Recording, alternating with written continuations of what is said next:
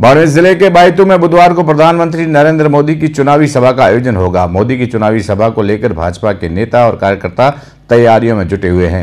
इसी कड़ी में भाजपा के प्रदेश महामंत्री जगबीर छाबा मंगलवार को बाड़मेर पहुँचे। इस दौरान छापा ने पत्रकार वार्ता का आयोजन कर मोदी की सभा के बारे में जानकारी देने के साथ इस बार राजस्थान में भाजपा द्वारा पूर्ण बहुमत की सरकार बनाने का दावा किया।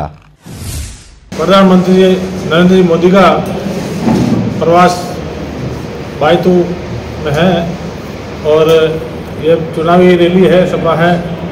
इसमें दस विधानसभाओं का कार्यकर्ताओं का समागम होगा। आदरणीय प्रधानमंत्री जी का सबको मार्गदर्शन मिलेगा।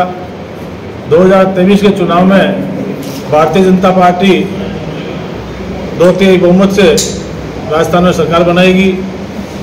आज जो कार्यकर्ताओं का राजस्थान के अंदर जो जोश है वो निश्चित ही 2023 के अंदर भाजपा की सरकार बनने का मार्ग प्रशस्त कर रहे हैं। है जहाँ इन्होंने पूरी राजस्थान की जनता को परेशान नहीं किया हो।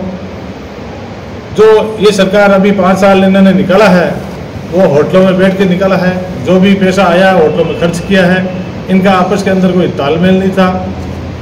चाहे सचिन जी का हो, चाहे गहलोत साहब का हो, अभी भी हो उसी मुद्दे पर लड़ रहे हैं कि अगला उनका सीएम कौन बनेगा?